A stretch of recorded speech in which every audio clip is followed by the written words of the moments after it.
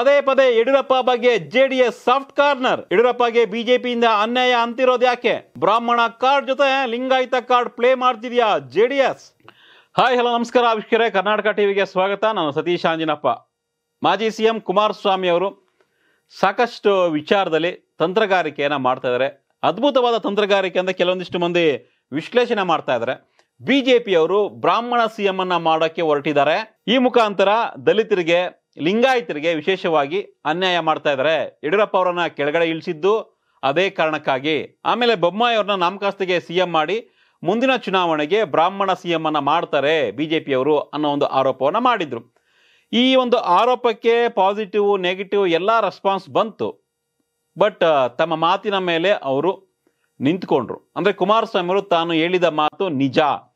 ಆಯ್ತು, ಒಂದು ವೇಳೆ ತಾಕತ್ತಿದ್ರೆ ಬಿಜೆಪಿಯವರು ತಮ್ಮ ಸಿಎಂ ಅಭ್ಯರ್ಥಿಯನ್ನ ಘೋಷಣೆ ಮಾಡಲಿ ಆಗಿದ್ರೆ ಅನ್ನೋ ಒಂದು ಸವಾಲನ್ನ ಹಾಕಿದ್ರು. ಆದರೆ ಬಿಜೆಪಿಗರು ಇದಕ್ಕೆ ಉತ್ತರವನ್ನ ಕೊಡಕ್ಕೂ ಹೋಗ್ಲಿಲ್ಲ. ಸಾಮೂಹಿಕ ನಾಯಕತ್ವ ಅಥವಾ ಬಸವರಾಜ್ ಬೊಮ್ಮಾಯಿಯವರ ನೇತೃತ್ವದಲ್ಲಿ ನಾವು ಚುನಾವಣೆಗೆ ಹೋಗ್ತೇವೆ ಅನ್ನೋ ಮಾತನ್ನ ಹೇಳಿದರೆ ಹೊರತು ಬ್ರಾಹ್ಮಣ ಸಿಎಂ ಮಾಡಲ್ಲ ಅಂತ ಯಾರು ಕೂಡ ಹೇಳಿಲ್ಲ. ಆಯ್ತು, ಬ್ರಾಹ್ಮಣ ಸಿಎಂ ಮಾಡಿದ್ರೆ ಏನು ಈಗ ಅನ್ನೋ ಒಂದು ಪ್ರಶ್ನೆ ಕೂಡ ಬಂತು. ಅದಕ್ಕೆ ಯಾರು ವಿರೋಧವನ್ನು ವ್ಯಕ್ತಪಡಿಸಿಲ್ಲ ಇನ್ಕ್ಲೂಡಿಂಗ್ ಮಾಜಿ ಸಿ ಎಂ ಕುಮಾರಸ್ವಾಮಿ ಸೇರಿದಂತೆ ಯಾರು ಕೂಡ ಬ್ರಾಹ್ಮಣ ಸಿ ಎಂಗೆ ವಿರೋಧವನ್ನು ವ್ಯಕ್ತಪಡಿಸಿಲ್ಲ. ಆದರೆ ಮಾಜಿ ಸಿ ಎಂ ಕುಮಾರಸ್ವಾಮಿ ಹೇಳಿದ್ದು ಫೇಶ್ವೇ ಡಿ ಎನ್ ಎ ಇರ್ತಕ್ಕಂಥ ವ್ಯಕ್ತಿಯನ್ನ ಸಿಎಂ ಮಾಡೋಕ್ಕೆ ಹೊರಟಿದ್ದಾರೆ. ಅದು ಪ್ರಹ್ಲಾದ್ ಜೋಶಿ.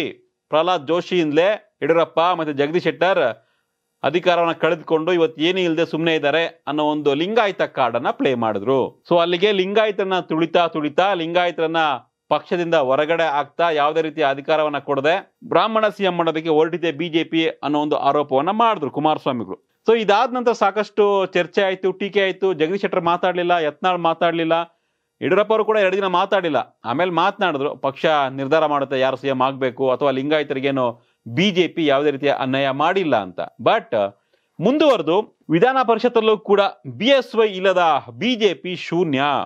ಬಿಜೆಪಿಗೆ ಹೇಗೆ ಬಿ ಎಸ್ ವೈಯೋ ಕರ್ನಾಟಕಕ್ಕೆ ಕುಮಾರಸ್ವಾಮಿ ಹಾಗೆ ಅಂತ ಪರಿಷತ್ ಸದಸ್ಯ ಶರವಣ ಹೇಳಿದ್ದು ಕೂಡ ಸಾಕಷ್ಟು ಚರ್ಚೆಗೆ ಕಾರಣ ಆಗ್ತಾ ಇದೆ.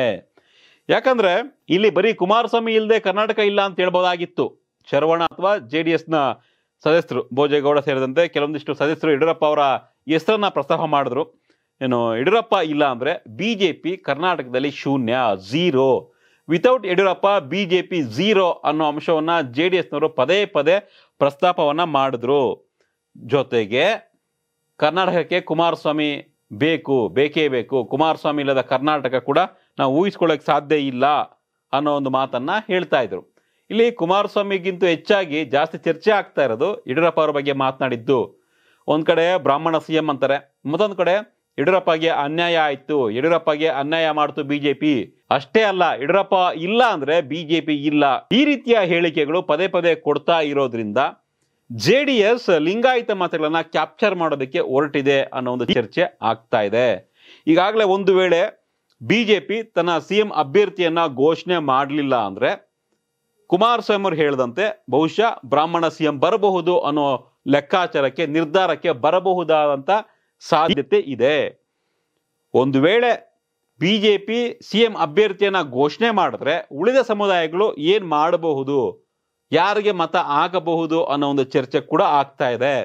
ಹೀಗಾಗಿನೇ ಕುಮಾರಸ್ವಾಮಿಯವರ ಮಾತು, ಆರೋಪ ಒಂದು ರೀತಿ ಬಿ ಜೆ ಪಿಯನ್ನು ಇಕ್ಕಟ್ಟಿಗೆ ಸಿಲುಕಿಸುವಂಥ ಕೆಲಸವನ್ನು ಮಾಡಿದೆ. ಮತ್ತೊಂದು ಕಡೆ ಯಡಿಯೂರಪ್ಪ ಅವರ ಪರವಾಗಿ ಬ್ಯಾಟಿಂಗ್ ಮಾಡ್ತಾ ಇರ್ತಕ್ಕಂಥದ್ದು, ಅದು ಜೆ ಡಿ ಎಸ್ ಪಕ್ಷದ ನಾಯಕರಾಗಿರ್ಬೋದು ಕುಮಾರಸ್ವಾಮಿ ಅವರಾಗಿರ್ಬೋದು ಪದೇ ಪದೇ ಯಡಿಯೂರಪ್ಪ ಅವರಿಗೆ ಬಿಜೆಪಿ ಅನ್ಯಾಯ ಮಾಡಿದೆ. ಬಿಜೆಪಿ ಇಲ್ಲದೆ ಯಡಿಯೂರಪ್ಪ ಇಲ್ಲದೆ ಬಿಜೆಪಿ ಇಲ್ಲ. ಬಿಜೆಪಿಗೆ ಯಡಿಯೂರಪ್ಪ ಅನಿವಾರ್ಯ ಹೊರತು ಯಡಿಯೂರಪ್ಪಗೆ ಬಿಜೆಪಿ ಅನಿವಾರ್ಯ ಅಲ್ಲ. ಈ ರೀತಿಯ ಮಾತುಗಳು ಸಾಕಷ್ಟು ಒಂದು ರೀತಿ ಪ್ರವೋಕ್ ಮಾಡುತ್ತೆ ಮತದಾರರ ಮೇಲೆ ಅನ್ನೋದನ್ನ ಬಹುಶಃ ಕುಮಾರಸ್ವಾಮಿ ಅವರು ಅರ್ಥತೆ ಕಾಣಿಸ್ತಿದೆ. ಒಟ್ಟಿನಲ್ಲಿ ಒಂದು ಕಡೆ ಬ್ರಾಹ್ಮಣ ಸಿ ಎಂ ಅಸ್ತ್ರ, ಮತ್ತೊಂದು ಕಡೆ ಯಡಿಯೂರಪ್ಪ ಅವರಿಗೆ ಅನ್ಯಾಯ ಮಾಡಿರ್ತಕ್ಕಂಥ ಅಸ್ತ್ರ. ಈ ಎರಡೂ ಅಸ್ತ್ರನ ಪದೇ ಪದೇ J D S B J P ಮೇಲೆ ಬಿಡ್ತಾ ಇದೆ.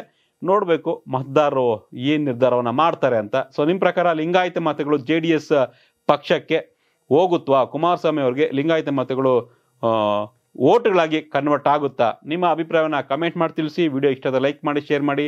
ಕರ್ನಾಟಕ ಟಿ ವಿಯನ್ನು ಇನ್ನೂ ಸಬ್ಸ್ಕ್ರೈಬ್ ಆಗಿಲ್ಲ ಅಂದರೆ ಈ ಕೂಡಲೇ ಸಬ್ಸ್ಕ್ರೈಬ್ ಮಾಡ್ಕೊಳ್ಳಿ. ಥ್ಯಾಂಕ್ ಯು ಫೆಬ್ರವರಿಯಲ್ಲಿ ಹೇಗಿದೆ ಕರ್ನಾಟಕದ ಟ್ರೆಂಡ್? ಈಗ ಚುನಾವಣೆ ನಡೆದ್ರೆ ಬಿಜೆಪಿಗೆ ಎಷ್ಟು ಸೀಟು? ರಾಜ್ಯದಲ್ಲಿ ಕಾಂಗ್ರೆಸ್ ಮತ್ತೆ ಅಧಿಕಾರಕ್ಕೆ ಬರುತ್ತಾ? ಕುಮಾರಸ್ವಾಮಿ ಕಿಂಗ್ ಆಗ್ತಾರ ಕಿಂಗ್ ಮೇಕರ್ ಆಗ್ತಾರ? ಆಮ್ ಆದ್ಮಿ ಪಾರ್ಟಿ ರೆಡ್ಡಿ ಪಾರ್ಟಿಯಿಂದ ಯಾರಿಗೆ ಡ್ಯಾಮೇಜ್? ಕರ್ನಾಟಕ ಟಿವಿಯಲ್ಲಿ ಫೆಬ್ರವರಿ ತಿಂಗಳ ಮೆಗಾ ಸರ್ವೆ.